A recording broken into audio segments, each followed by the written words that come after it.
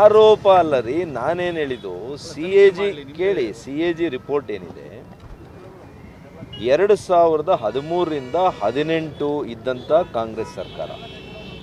ಈ ಆಡಳಿತದ ಅವಧಿಯಲ್ಲಿ ಅವ್ರೇನು ಹೇಳಿದ್ದಾರೆ ಫೈನಾನ್ಷಿಯಲ್ ಇರ್ರೆಗ್ಯುಲಾರಿಟೀಸ್ ಆಗಿದೆ ಅಂತ ಹೇಳಿದ್ದಾರೆ.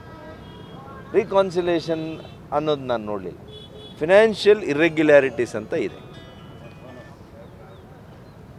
ನಾನೇನು ಮೂವತ್ತೈದು ಸಾವಿರ ಕೋಟಿ ಆಪಾದನೆ ಅಂತ ಮಾಡಿಲ್ಲ. What C A G has mention ಮಾತ್ರ ನಾನು ಹೇಳಿದ್ದೀನಿ. ಮತ್ತು ಕೆಲವು ಇರ್? ಅದನ್ನೇ ಹೇಳಿದ್ದೀನಿ ನಾನು. That is what I have told ನಾನು ಇನ್ನೇನು ಹೇಳಿದ್ದೀನಿ? ಯಾವುದು? ಎಲ್ಲ ಸರ್ಕಾರಗಳಲ್ಲೂ ಸ್ವಲ್ಪ ಮಟ್ಟಿಗೆ ಇರ್ತದೆ. ಸ್ವಲ್ಪ ಮಟ್ಟಿಗೆ ಇರ್ತದೆ ಮೂವತ್ತೈದು ಸಾವಿರ ಕೋಟಿ ಅಷ್ಟಿರುತ್ತಾ ನಾ ಸ್ವಲ್ಪ ನಾನು ಮಾಹಿತಿ ಅಂತ ತರ್ಸ್ಕೊಂಡು ನೋಡ್ಬೇಕು. ಹಿಂದಿನ ಸರ್ಕಾರಗಳು ಸಿ ಎ ಜಿ ರಿಪೋರ್ಟ್ ನಾನು ನೋಡಿ ಹೇಳಿದ್ದೀನಪ್ಪ. ಯಾವಾಗಿದ್ರೂ ಸತ್ಯ ಸತ್ಯನೇ ಅಲ್ಲೇನ್ರಿ ಅಷ್ಟು ನಾವು ಖರ್ಚೆ ಮಾಡಿಲ್ಲ. ಅಲ್ರಿ ಇಡೀ ಕೋವಿಡ್ ಮ್ಯಾನೇಜ್ಮೆಂಟ್ಗೆ ಎಲ್ ಡಿಪಾರ್ಟ್ಮೆಂಟಿಂದ ಅಷ್ಟು ಖರ್ಚು ಮಾಡಿಲ್ಲ. ಹಗರಣ ಅಷ್ಟು ಕೋಟಿಗೆ ಎಷ್ಟಾಗ್ತದೆ? I am ready white paper release ಮಾಡ್ತೀವಿ ಸರ್ಕಾರದಿಂದ. ವಿ ಆರ್ ರೆಡಿ ನಾನು ಸದನದಲ್ಲಿ ಉತ್ತರ ಕೊಟ್ಟಿದ್ದೀನಿ ಪಲಾಯನ ಮಾಡಿದ್ರಿ ನೀವು. ಸರ್ ಅಲ್ಲೂ ಚರ್ಚೆಗೆ ಅವಕಾಶ ಮತ್ತು ಟೇಬಲ್ ಮಾಡಿ ಚರ್ಚೆ ಅವ್ರು ಪೂರ್ತಿ ಮಾಡಿದರು.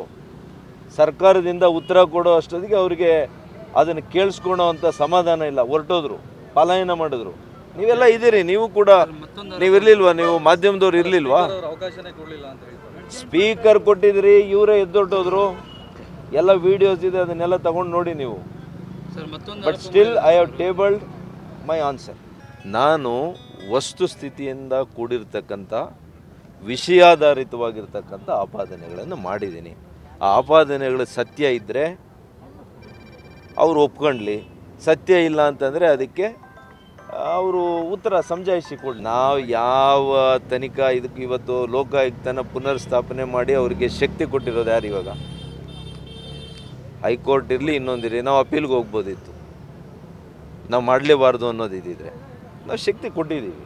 ನಮ್ಮ ಪ್ರಣಾಳಿಕೆಯಲ್ಲಿತ್ತು ಆ ರೀತಿಯಲ್ಲಿ ಕೊಟ್ಟಿದ್ದೀವಿ.